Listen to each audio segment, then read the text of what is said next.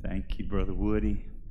Good evening, everyone. It's really good to see you. It's so nice to spend some time in prayer with all of you. So, on Wednesday nights, for a long time, for almost two years, we have been looking at different prayers in the Bible. We started with the model prayer, the Lord's Prayer, in Matthew chapter 6, and we have gone from A to Z, from the front to the back, looking at different prayers. We have, while we've looked at those prayers, learned things about how to pray, but we've learned a whole lot more. I've explored broadly around those texts so that we've learned things about the nature of God, we've learned things about people, we've learned things about how to pray, we've learned things about the Bible. We've learned what I call biblical literacy, understanding the Bible.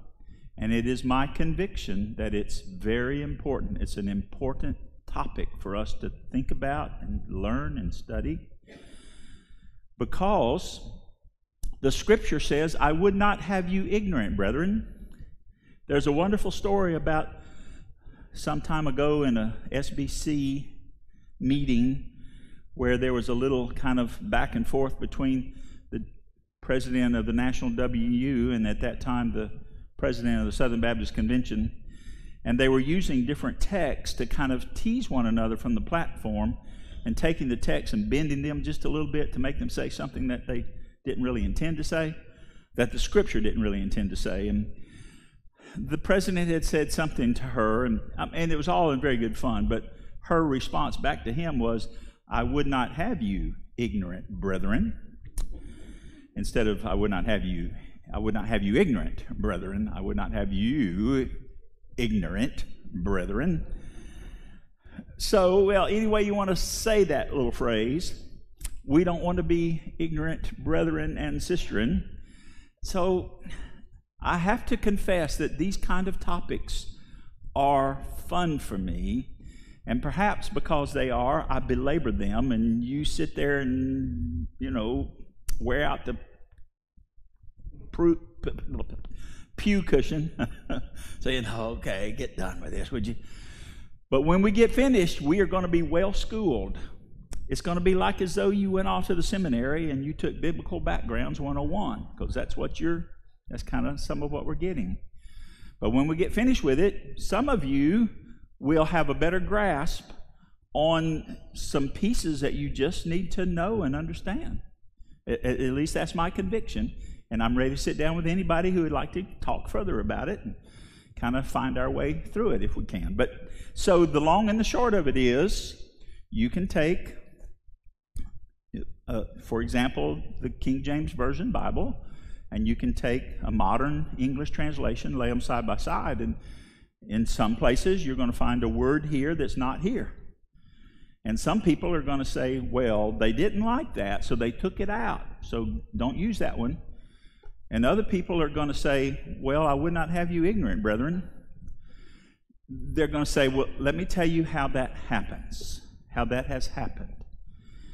And I want to back up just a little bit because I, probably a foundation piece that I should have laid a little bit earlier is this one and i'm going to read i'm going to read the lord's prayer again for us for a minute and then try to wrap up this discussion but a great many Christians, especially those who would think about themselves as evangelical or, or conservative Christians, are very comfortable talking about the Bible in terms of being inerrant.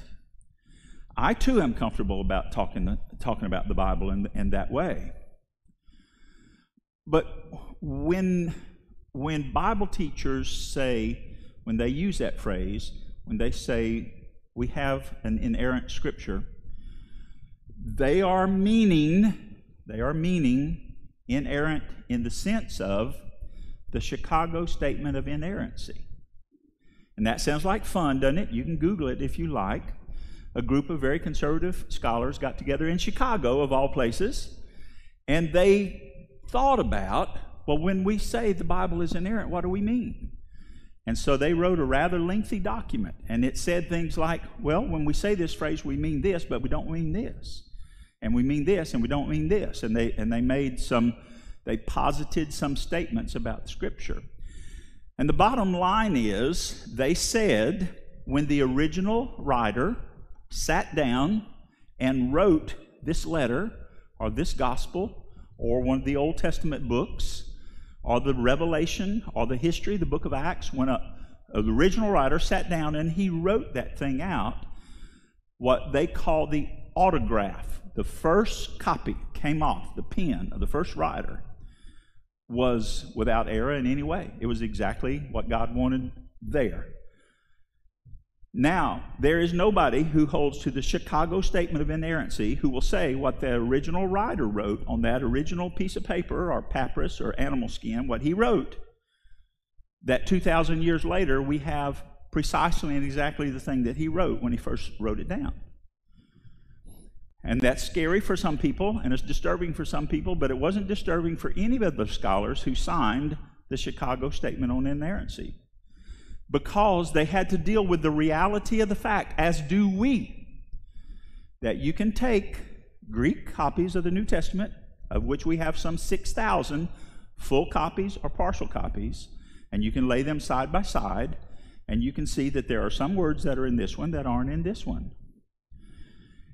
And they will say, yes, we acknowledge that it is possible for humans to get into the process and to do some things that made it look like that. And they will say, and I will agree, that if you could back up to what the first guy wrote, when Paul sat there and he wrote, or actually, he probably had a secretary that wrote as he dictated. You know, he gets to the end of the Galatians and he says, See how big I'm signing this thing with my own hand? Well, somebody else wrote it down for him, but when that first thing was written, that was what we could comfortably say inerrant. Now, here is what modern scholarship around the Bible is trying to do. And when I say modern scholarship, what I mean is some very dedicated people who love the Lord Jesus, who know Him as their Savior and Lord, sit down with these 6,000 pieces of manuscript and they try to understand it. And they have one goal in mind and that one goal in mind is to get as close as they can to what the original author wrote. That's the goal. The goal is not to take out something you don't like. The goal is not to keep something that you do like if it looks like it didn't belong there in the very beginning. The goal is to get as very close as you can to what the original author wrote. And so all of that is kind of new information for a lot of people, and it's something you kind of have to process and think about.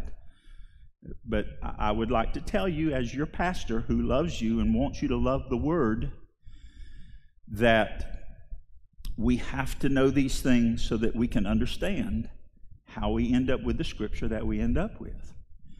So I think I've made it clear to you that the King James Version that I love and memorize and still can quote many places and still use, it was made, it was a translation made in part from the Latin Vulgate, but it, it had Erasmus of Rotterdam, that 16th century scholar who did the very first printed Greek New Testament, they had his New Testament in front of them. And that New Testament that Erasmus of Rotterdam printed in the 16th century was based upon five or six Greek manuscripts, all of which were around the 12th century. That's when they were first copied. And so, over these years, we have discovered more and more and more and more and more in all kinds of various places. Now, I think I'm going to be able to show you a picture. Do we have it, Kim? Doesn't that look like fun? Can you see it? Well, I mentioned last, last week that in 1844, a man by the name of Tischendorf. Aren't you glad that's not your name? It's hard to spell. He was a Bible scholar and a collector of old Bibles, and I don't know how he ended up in the monastery on eh, eh, St. Catherine's Monastery on Mount Sinai, the traditional place where Moses got the law. There's a there's a one of the oldest monasteries in the world is right there on the side of that mountain. If you go to, with me to Israel next year, there's a possibility we'll go see that place and climb that mountain and watch the sun come up. That's just a little advertisement. So he was there in 18. I'm sorry, Irma. And everybody that loves the pew cushions. So he was there in 1844, and some of the monks showed him these very, very old pieces of animal skin, parchment, that had old writing on it. And he ended up getting a few copies of that, and eventually a whole bunch of the cop- a whole bunch of the pages. And in recent years, those pages, those pages are now in four different locations. In recent years, those four different locations have agreed and allowed all the pages to be photographed and it to be printed in an exact facsimile of the original Sinaitic, Codex Sinaiticus from the fourth century, about three, about 350 A.D. This is part of it. This is just a little sample out of it. The reason I wanted to show it to you is it'll maybe in part help you understand why it's kind of so. If you're interested in looking at this, go to Google, Codex Sinaiticus, and you can open the manuscript and you can look at it right online, every page. Some of the pages are just are not complete. A lot of them are complete. This is one of the columns on one of the pages. There are four, there are three columns, I think, three or four columns on every page. Just for fun, right see here is where John 3:16 starts. It looks like O Y who knows what W C who knows what kind of an A a P. Well, but none of that is how that's pronounced. But that's where it starts. Thus for he so loved namely God the world etc. But look how the they're all capital letters and there's no space between the words. You see that looks like a C? Well, it's really an S. And that that looks like who knows what, that's really a G. And this is the end of one word, and that's the beginning of the next word. And you get down to the end of the line, and it just cuts, it doesn't stop the word. The word just wraps around and then continues on on the next line, and that's how it goes word after word after word, line after line after line. It's pretty hard to read. It's pretty hard to read. And it might show you why could be kind of easy for a small little error to slip in there, uh, or, small little difference to slip in there. And so here are these scholars with these 6,000 manuscripts or pieces of manuscript in front of them. And they studied them so very diligently, and it's possible, it's possible to kind of date when they were made, even though nobody wrote a date on it. And the way that it's kind of possible is they didn't write them, they didn't write like this all the time. Later on, they started using capital letters and little letters, and they started putting some punctuation in there. And the way the letters were actually drawn. See, I, I showed you one there, it looks sort of like a C. Well, that's an S, but a couple hundred years later, they started making that S completely different. Didn't look like that anymore at all. And so scholars are able to look at that and say, well, the way this is the way they wrote in the third or the fourth century, and by about the eighth century or the ninth century, they were making letters differently. That's no different from modern English. I mean, you get a real King James Bible and you look at it, and all those little things that look like F's, they're really S's. You've, most of you have seen that. And so language shifts and changes like that. So these scholars can kind of see pretty close like a dating, and sometimes they have ways of testing the paper or the animal skin to put a kind of a date on it. So they can say this is these are the oldest, and then these are over time up until about the 12th, 13th, 14th century. And a very interesting thing starts to develop. That they can start to recognize well, in this one, this word was like this, but in this one, the word was different. And from there on out, it had that new word in there or that different spelling. So they can sort of see where those differences kind of slipped in. What that kind of leads to, as well as other things, is that today when you read a modern English translation, like the New American Standard or the New International Version or the CEV or the Southern Baptist Version, which is the Christian Standard Version. I mean, we go right to the heart of it. This is the Christian Standard Version. That's the one Southern Baptists have printed. And it's an excellent version, too. It's an excellent translation. When you read those, every one of them is based on a modern Greek text. What these scholars have worked at diligently with one goal in mind to get as close as they can to what the original writer wrote. And they have some things that kind of help them make those decisions. If you've got different different wordings, well, which one is the closest to the original? And some rules that they have developed that, that are pretty interesting. For example, it tends to be the older the manuscript, the closer it is in wording to the very first. That just makes sense. It doesn't seem to always work out that way, but it seems to make sense. Another one of the rules is sometimes, if more and more of the Bibles have it worded this way, perhaps you should trust that more as being the original wording. So sometimes that's one of the rules. This is a really interesting one. If you have two different, if you have this manuscript and this manuscript, and they're not, I've almost painted a bad picture for you. Never is there any like this one says old MacDonald had a farm, and this one says eeny, meeny, miny, mo. It's never anything like that. It's, it's like old MacDonald had a farm, and this one says old MacDonald had an old farm. It's that kind of little differences, okay?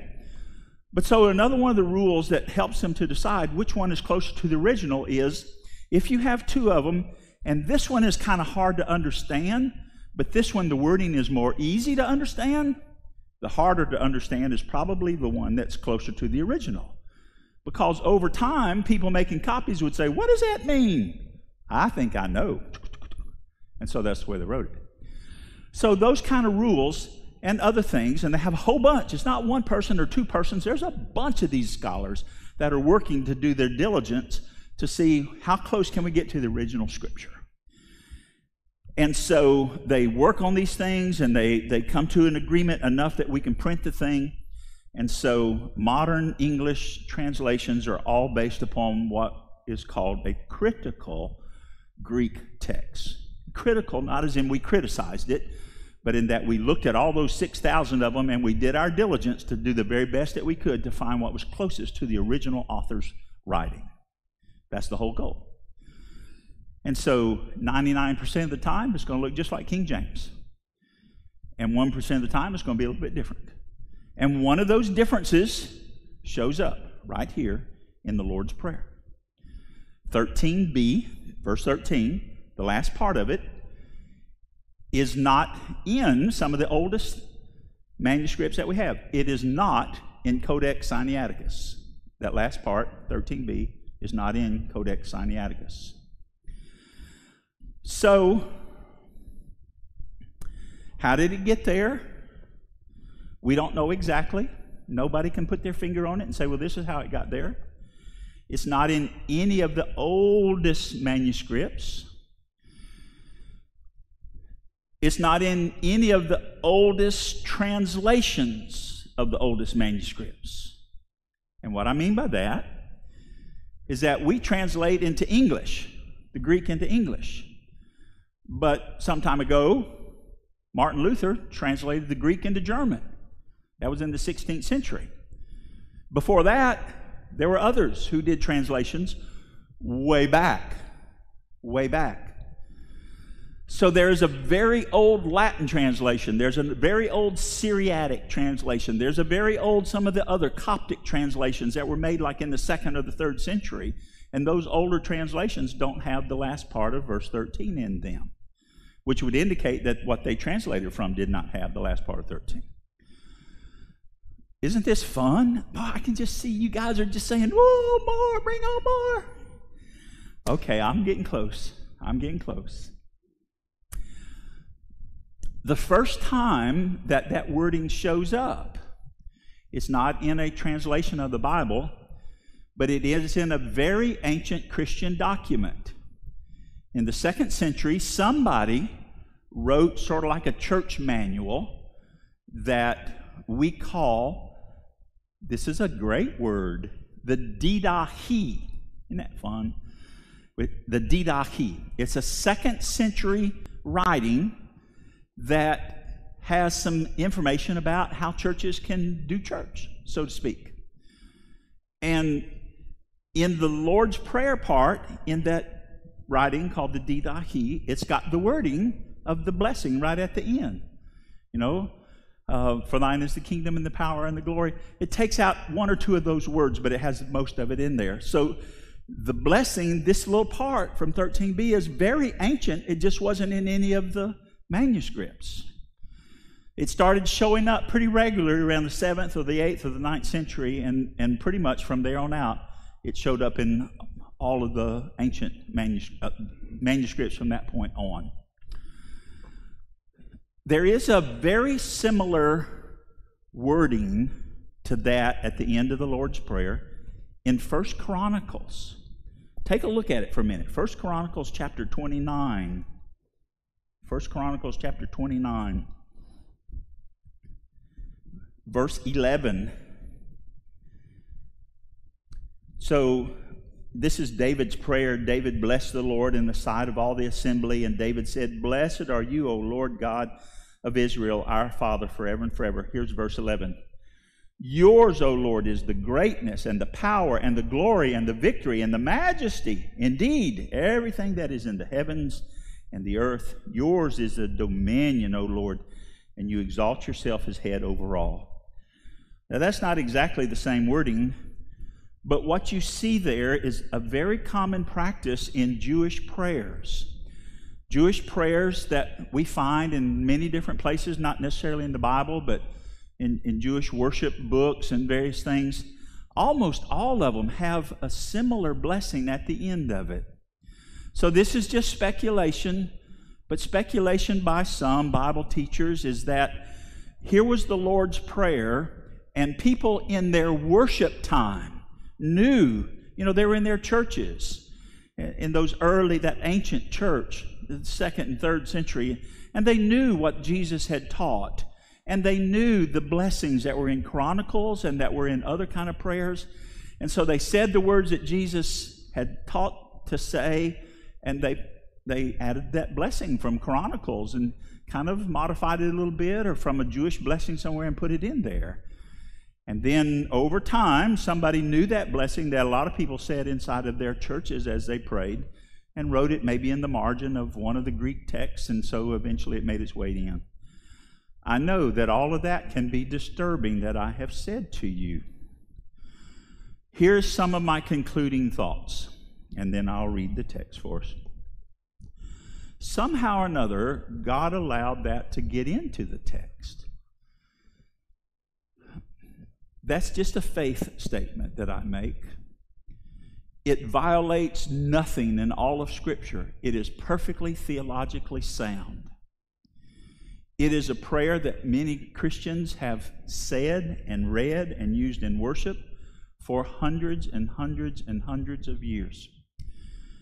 It is so good theologically and poetically that even now, when many Bible translating teams know that this was not what Matthew wrote when he first wrote Matthew, that they, they say, ah, but it's there in many, and it's known by the church, and it's theologically sound.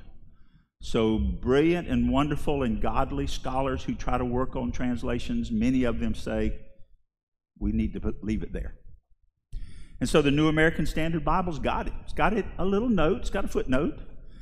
And many of your other Bibles will have it as a footnote to say, you know, this is in in older English Bibles and it is worthy of using in a prayer. And I would have no doubt but what since Jesus was Jewish himself and knew the tradition of saying prayers that included a blessing at the end that many, many, many times when he would have prayed with his disciples, he would have said prayers that would have included blessings very much like that. I don't know if that helps anybody. For me, it says, hey, that's good. That's good. It's still a worthy piece for us to put into our worship and into our memory and into our songs. But I will know, I will know in biblical literacy that there's a very, very, very small chance that Matthew wrote it in the very first copy that he wrote of this gospel. It doesn't hurt anything, it's theologically sound, it's worshipful. So, I have no problem saying it, praying it, and explaining it. So, I've said all of that stuff, all of that stuff to read the text and then to say one or two final words about actually that wording. So here's the prayer again. You've heard it so many times, you know it. Jesus says, Pray then in this way Our Father who art in heaven, hallowed be thy name. Thy kingdom come, thy will be done, on earth as it is in heaven. Give us this day our daily bread, and forgive us our trespasses or debts, as we forgive those who trespass against us. And lead us not into temptation, but deliver us from evil. And then the blessing. For thine is the kingdom, and the power, and the glory forever. Amen. And so the words mean something that you already know and understand without any doubt. You know when it says, For yours is the kingdom, that that is an accurate statement. The kingdom that Jesus proclaimed, the kingdom of God, the kingdom of heaven, the kingdom that he came to proclaim and to inaugurate, is not our kingdom, it is God's kingdom. And if we ever get that confused, we have lost touch with our head. It is His reign, he rules. He rules in our hearts. He rules in this congregation. He rules in His church everywhere. And in fact, He is the ultimate ruler of the universe. So we have no problem with that phrase, do we? Thine is the kingdom. And then we say, and the power. Well, there's no problem with that phrase. That's absolutely theologically accurate. For all power is His.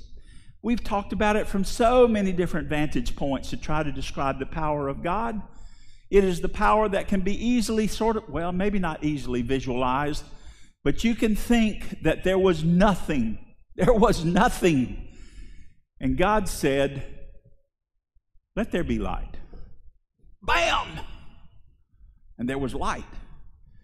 And then God said, Let the waters be separated from the waters. And they were and let the dry ground come out, and let there be birds and fish and animals, and let there be people, and bang and bang and bang. And so, the whole broad expanse of the universe that is unknowable in its hugeness, you can't begin to imagine the expanse of the creation of God in a flash.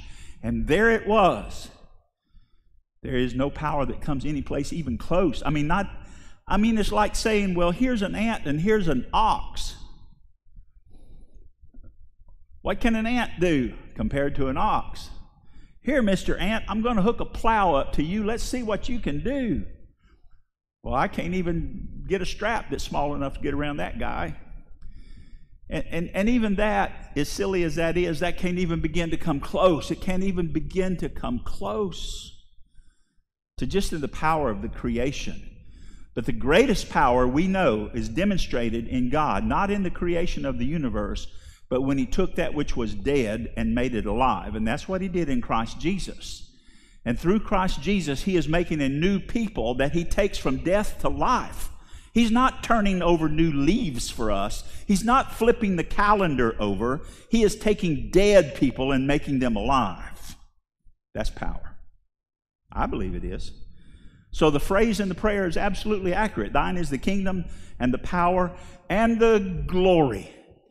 And we've talked many times about glory to try to find out somehow what all does that mean. And it's more of a feeling than it's a definition. I can work words around that all that I want to. And none of them quite get to the heart of the matter. But when I say glory, are you experience glory? You start to get a taste of it. It is way beyond us. It is the majesty and the greatness and the and I don't have a word. I just can't come up with a word. It's beyond what I can describe. Somehow or another, you've got to get in touch with it.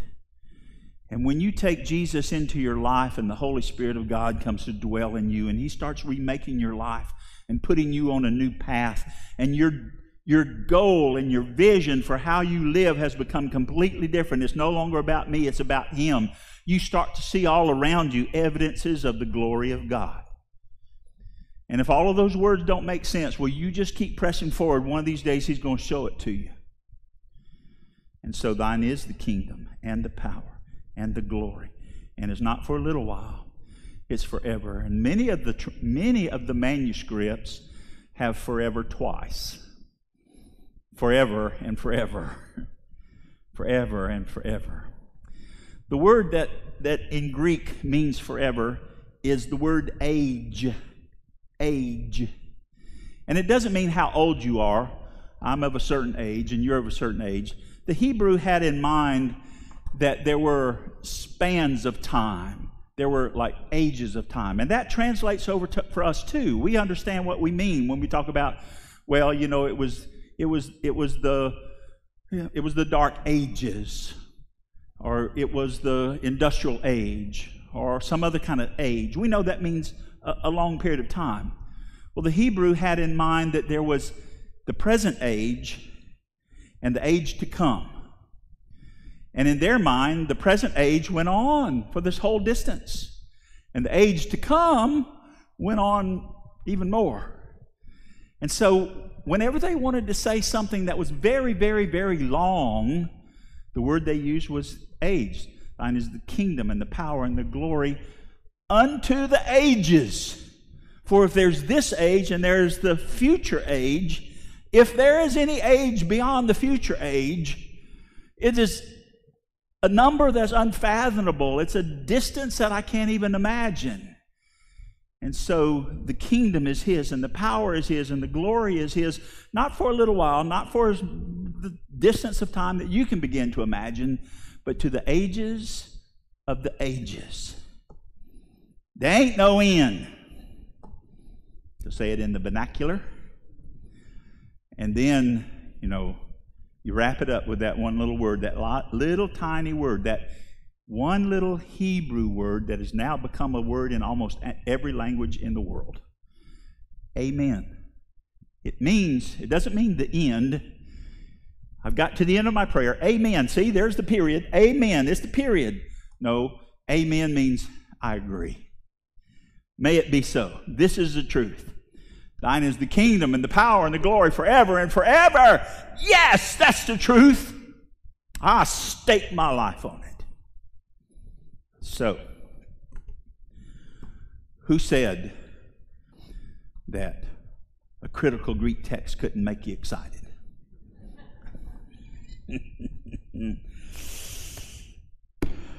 so that's it, brothers and sisters.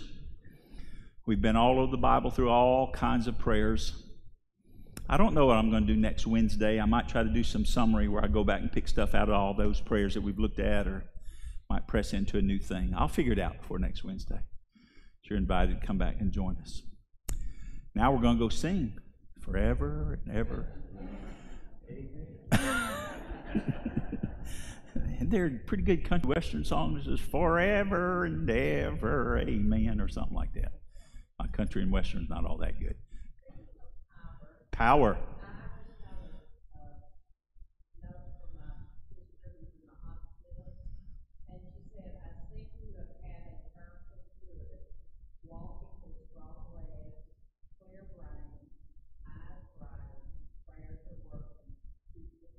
All right. That's from Liz. Mm. Oh, my goodness. Amen. Great. Praise God.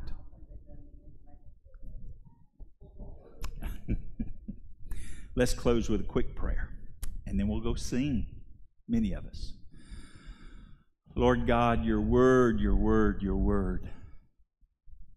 We love it, we cherish it. It speaks to us, it changes us because it is an instrument in your hands for new life. Thank you for these words that Jesus gave us so long ago and that still that still take us to you when we say them and when we pray them. We love those words because they help us to love you. Take us from this place that we may serve you in this community. In the name of Jesus, we pray. Amen. All right.